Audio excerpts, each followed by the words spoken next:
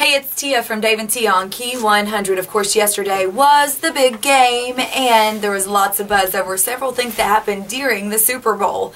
Of course, the electricity went out. When the lights go down in the city. Dave broke out in song, of course, like any normal human would do.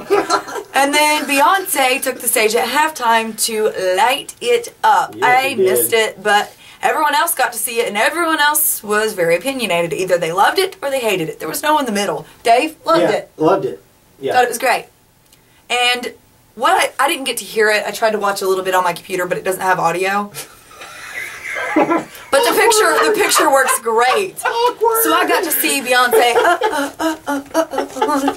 I thought she looked phenomenal. I don't know how she sounded, but move, she sounded. I don't know how she sounded, but she looked phenomenal. Like I, I literally oh. just sat there like. I- I'm pretty sure you had a little drool. I mean, she looks amazing. She really does. I'm not gonna lie. If you want to see it, you can see it right there on our blog. Just click on Dave and T. It's KEE 100.